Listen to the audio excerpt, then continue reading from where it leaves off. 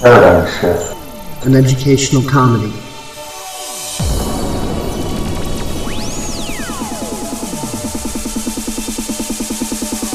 It's not a cause, not a movement. It's not a social group you can slap a label onto.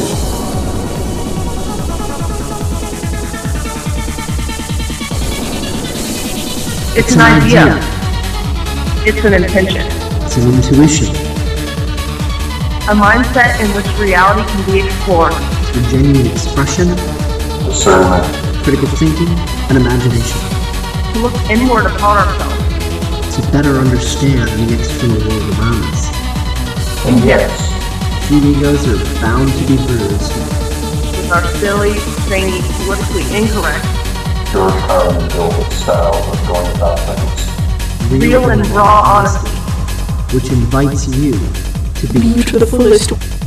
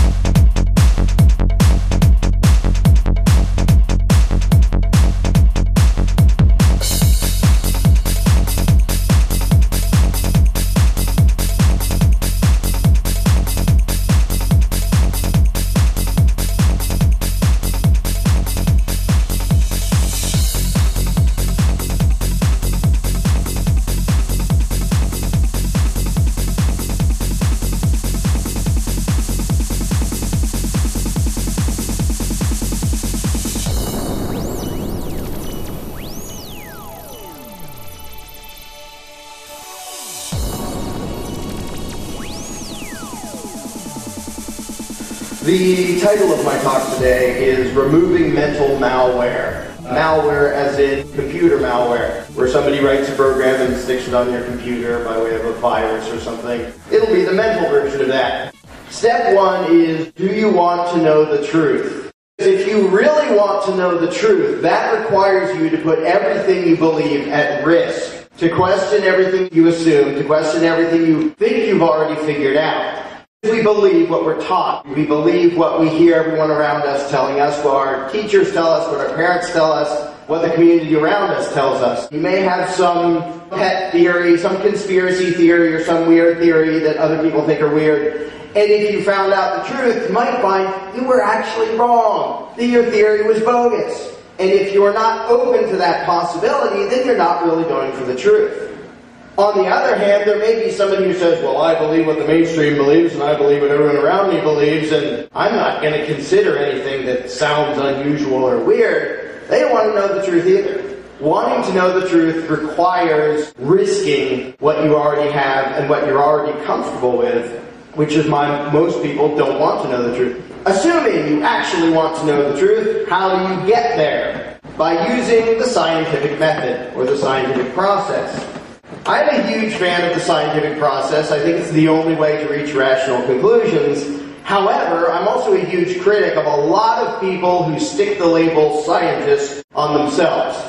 The scientific process, in a nutshell, is you take in evidence, you take in data, and from it you try to extrapolate an explanation of reality, or pieces of reality. You try to get a worldview that actually matches the world outside of you. And sometimes you find out, whoops, well, that data made it look like this, but now this data makes it. And so you have to test your theories and sometimes throw them out.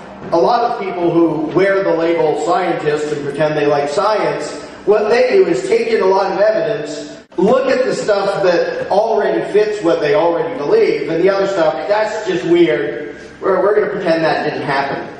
So by the scientific process, I don't mean come to the results that are now usually labeled under science. I mean the actual scientific process of look at the world, take in all the evidence you can, and then try to figure out reality from that. Even if the evidence is weird and disturbing and goes against what you already want. Another problem that stops people from using the scientific process is when it starts to point at a conclusion that they don't like.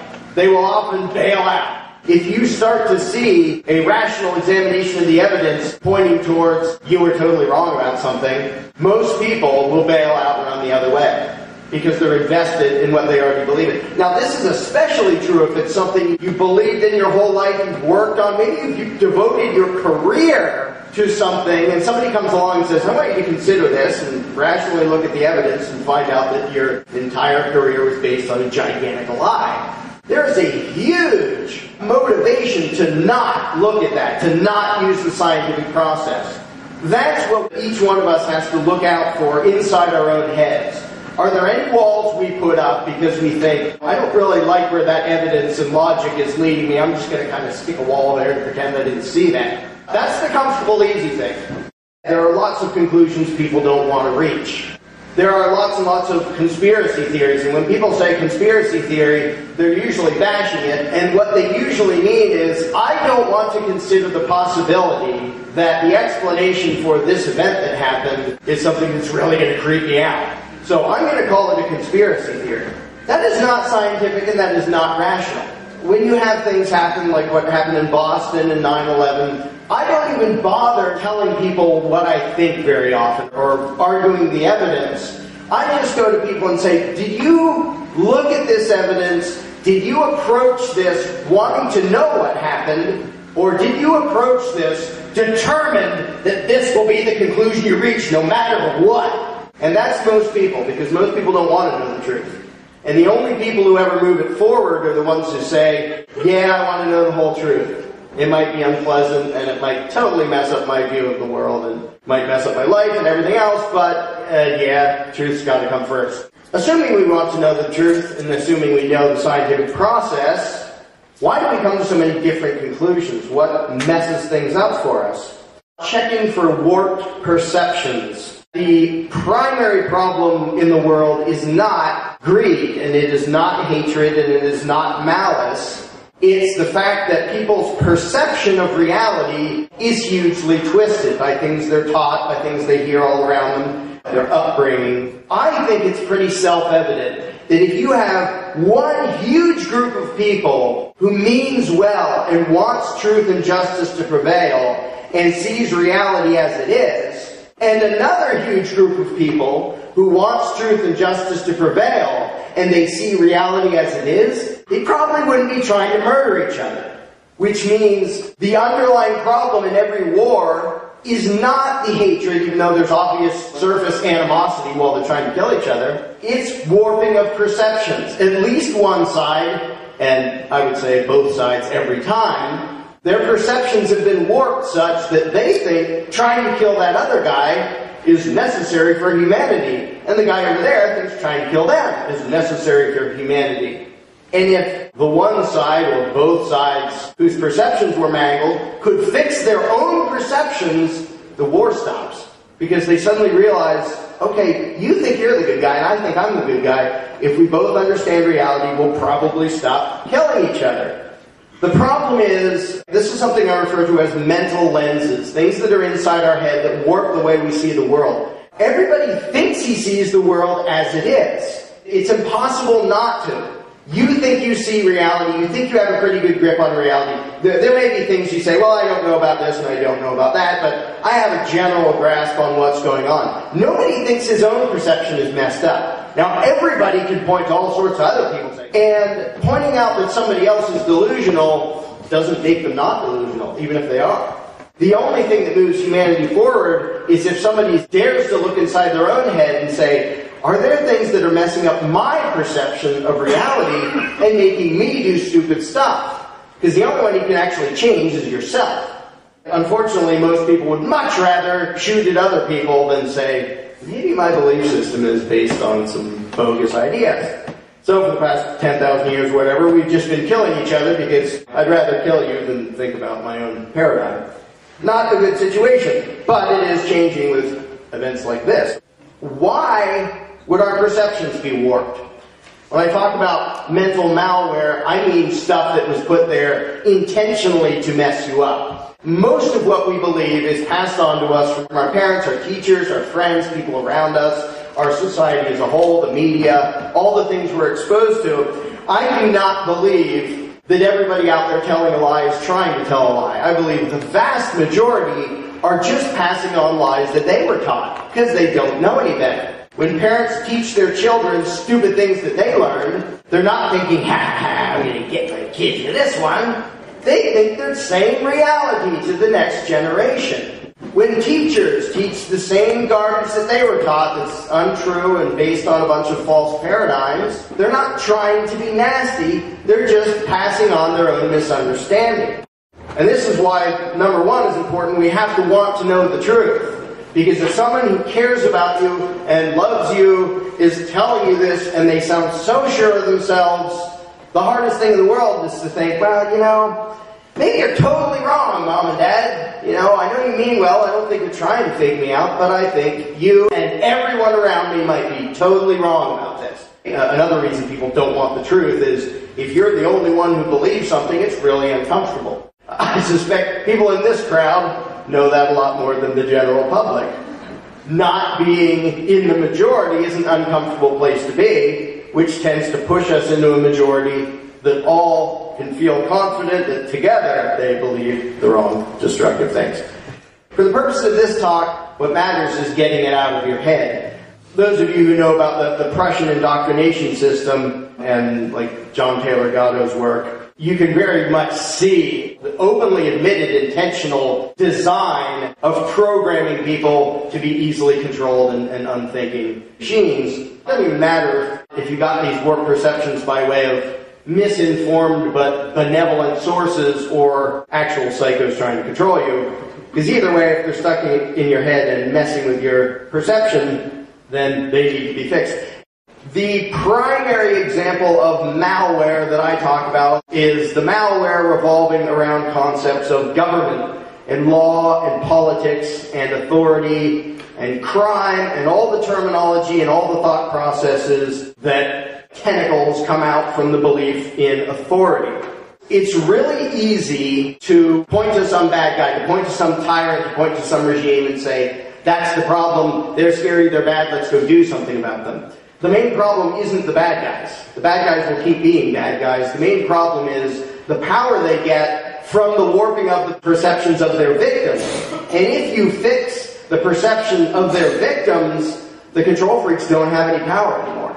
Everybody believes in government. They believe it's real. They believe in the law. They believe in authority. And they have all these perceptions that they think are based on reality. That is a great sign that you have somebody controlling what's in here. But if you're convinced that it's law and it's government and it's authority, literally people feel profound moral guilt at doing something that doesn't hurt anybody but disobeys the group of people who claim to be government, who claim to have the right to rule. I love the term law-abiding taxpayer because it's people proudly displaying their malware for all the world to see. I am proud that I give my money to a bunch of crooks and I do whatever they tell me.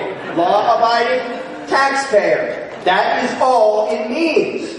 Lots and lots of history is good people who are taught to believe the lie of authority, either just spectating and doing nothing, or actively helping to dominate, oppress, or even kill their fellow man because authority told them to. And that's what I mean by the fact that the problem is not the psychos. There's only one reason we know the name Adolf Hitler, and it wasn't because of Adolf Hitler. It was because lots of people in Germany believed in the thing called authority. And so if the guy is in a certain position and has a certain job description, and he tells you to do something, well, you do it. You follow orders, you enforce the law. If they didn't believe that, what could one goofball with a stupid mustache possibly have done on his own? Same thing everywhere. Red China, Soviet Union, go anywhere you want. The mass oppression was not because all the individuals doing it thought, you know, today I just want to go hurt somebody. It's because they were raised with the malware of authoritarianism and government and law and all these concepts that go together so that they literally feel guilty about doing what they know is right. But Stanley Milgram did experiments which totally show that this applies to Americans as much as anybody else. We know what is right and wrong, and we will do the wrong thing if a perceived authority tells us to. That's the horrendous punchline. And I highly suggest everybody go check out those. It should be required. People should be forced to read that book. Stanley Milgram's book is called Obedience to Authority, and it goes all through his experiments, which is really creepy, but it's an outstanding expose on mental malware and the destruction it leads to, uh, making good people do really nasty, evil stuff. Even inside the freedom movement, because the malware is so lodged in most people's heads, the vast majority of people say, I want freedom, they don't recognize their own malware. They don't even check for it. Because they think the problem's in Washington, D.C. Those guys are bad guys. And yeah, they are bad guys, but they're not the problem. And we have to go do something to them. And whenever that's the focus, you lose because you miss the underlying problem of the world the entire idea that we have to do something to the ruling class, whether it's we have to vote in people who will speak back, to go petition them, we have to go have a protest, we have to have a revolution. there is nothing you can do to the control freaks who pretend to be government that will fix reality.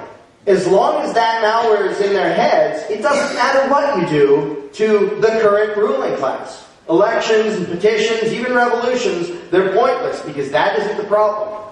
If the problem is inside your head, shooting somebody in Washington isn't going to fix it. But if you imagine a world in which the malware is gone and tomorrow 300 million people wake up and say, I don't really feel a need to give a bunch of my money to them. In fact, I don't feel a need to use their crummy currency that keeps going down in value. I don't feel the moral obligation to obey their arbitrary, stupid commands, and I definitely don't want to fuel their war machine in their police state so, now if one person does that, out come the jackboots and he gets stomped and killed and thrown in a cage. If 300 million do it, we're done. The end. As long as you're focused on doing something to the rulers, nothing fixes because they're not the problem. And all of their power comes from the malware in our heads, our perceptions that they have the right to do this, that their commands are law, that when they say give me money, it isn't robbery, it's taxation. These ideas in the heads of the victims are the problem. But what it comes down to is when people understand the malware, it goes away. Don't be scared of chaos and anarchy. Be scared of the guy who says, put me in charge, I will fix the world. He is not your master. You are your master.